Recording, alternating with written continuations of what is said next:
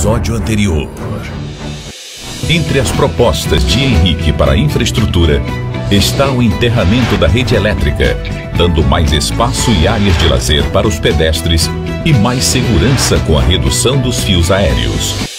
Está no ar. Canal 77 Manaus.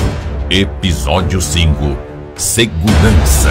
A Constituição brasileira é clara ao dizer que questões como a repressão ao tráfico de drogas, o policiamento ostensivo das ruas e a preservação da ordem pública não são de responsabilidade do município. No entanto, a prefeitura não pode ficar de braços cruzados enquanto cresce o número de roubos, assaltos e homicídios na cidade de Manaus.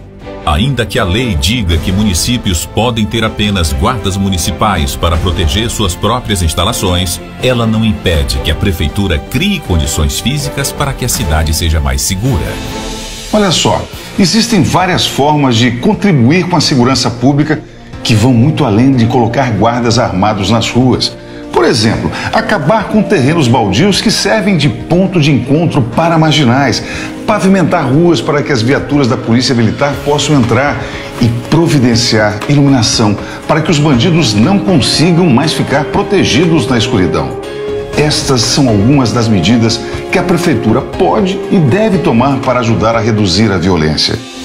Entre as propostas de Henrique para a segurança estão criar no âmbito dos conselhos tutelares os conselhos comunitários de segurança para sugerir e cobrar ações do poder público, providenciar iluminação em becos, vielas e outras áreas que hoje convivem com a escuridão na capital amazonense. Dotar a Guarda Municipal de armas não letais para inibir a violência. Criar centros de reabilitação para usuários de drogas e muitas outras ideias para uma Manaus inteligente. Quando eu era criança, minha mãe deixava eu ir brincar na rua sem medo. Esse tempo precisa voltar. É preciso resgatar a confiança do morador. E eu conto com você para ajudar a mudar a realidade de Manaus.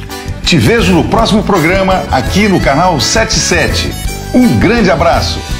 77 Henrique, prefeito. O problema daquela luz que resolveu pra nós foi tu. Graças a Deus, amém. 77 aí. Bem, eu sou trabalho muito bem. Ah, que legal, vamos lá. Henrique, prefeito. Tá bom. 77. Amém. Não tem conversa nem chilique, agora é a vez de Henrique. É Manaus que vai ganhar. Se Deus quiser, vai, Vai dar certo. vai dar certo. Ele vai ser o prefeito de Manaus, porque ele é uma pessoa muito humilde e muito carismática.